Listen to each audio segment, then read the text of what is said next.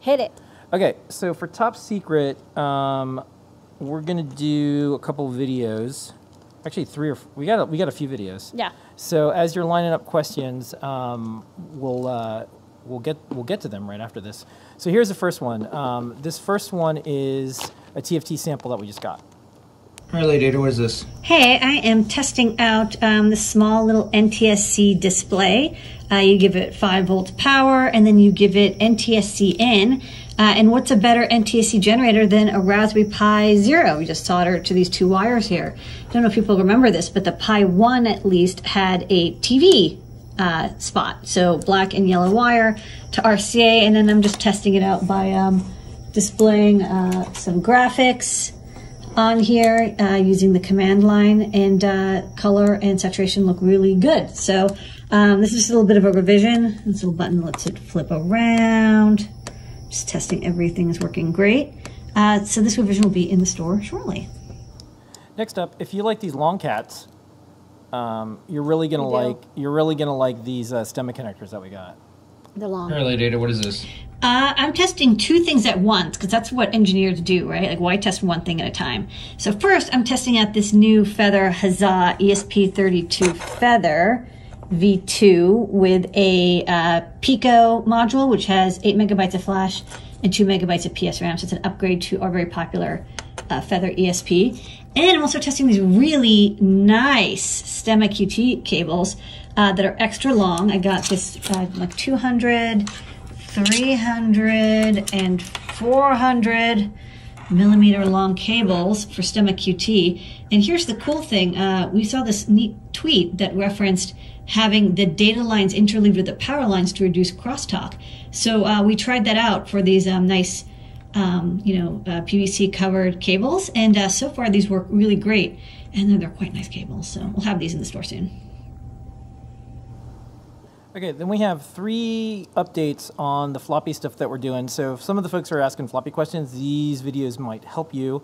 We're going to play one after the other after the other. Don't worry, they're only a minute each, so see you on the other side. Data, what is this? These are my floppy socks, and these are some Mac 400K, 800K, and another 400K uh, floppy disk. So back in my floppy game, and you know we've got the Windows diskettes all working really great. You know those are all good uh, MFM floppies, but you know the real challenge is the GCR. Uh, 400K and 800K Macintosh floppies because I'm a Mac girl. So, um, working a little bit on uh, changing the timing on how we read flux pulses. I actually replaced everything with um, a capture peripheral. Phil B helped a lot with that. Uh, so we're doing capture peripheral and PWM waveform generation for flux pulses so we can get um, better precision and also just like better handle long pulses. Um, it seems to help a little bit with improving uh, reading the Mac GCR uh, fluxes. You can see I'm reading a clean 400K floppy here. All those sectors working out. Lady Ada, what is this? Hello. Well, you know, we're still doing some floppy stuff. We're getting back into it. And a lot of people are always asking me, why don't you just use a USB floppy drive?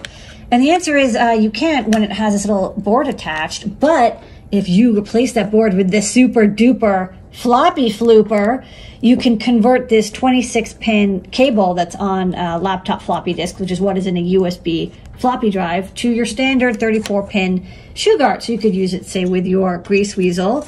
Please support Emma Bear and pick up a Greaseweazle if you want to do floppy hacking. And then um, here's the board, and I'm testing it with FluxEngine, and it works great. So this is cool because this is another source of um, you know, brand new old stock floppy disk drives that you can get, and it will work with your standard 34 pin connector when you use the flooper. Lady Ada, what is this? I am making millions with Tom Snyder. This is a very early 1984 Mac, uh, Mac Plus, you know, Mac 512K uh, video game. It comes on a 400K floppy, and I've got 400K floppies reading quite nicely now on um, FluxEngine with my hardware. So I grabbed a flux of this, uh, generated a uh, DSK, which is a standard file type, uploaded to Internet Archive, and I set up all these flags, which means up here, uh, you can click emulate it and it will actually load PCE.js. You can see my monitor is very dusty. Um, but this will load the uh, game diskette, and then you can actually play the game in your browser. And it was like a surprisingly well graphics made game for 1984. Um, so do check it out. It's uh, under Internet Archive under Make Dash Millions Tom Dash Snyder. And uh, what's cool about this, we were, we were checking this out. It's like a full-on like Magic Cap OS inside It's, it's actually like a surprisingly good game from 19. This guy was very, Yeah. very talented. Um, he did a lot of other stuff until uh, his company was purchased by and then killed off by Scholastic.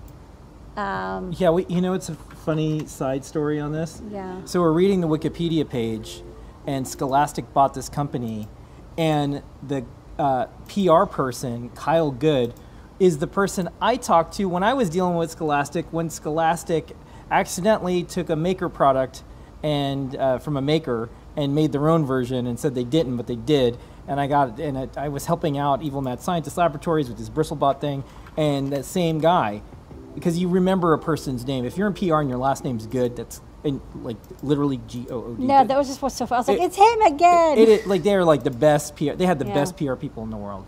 Um, anyways, so that's a little bit of a, a, a look at that. And then um, I also have those socks I was talking about Nice um, in the in the section of our website, and then the new ones that just came in New socks. are uh, these. Let's put these on the overhead. okay, give me the socks. Nice, freaking technical socks. Look, you always wanted Oracle socks, Oh, didn't God. you? These are directly from uh,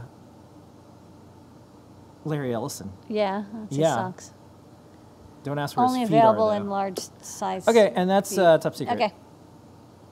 Um, I was banging through these questions. yeah, we got some questions and we got some answers too. Yeah. So let's uh, let's do some questions.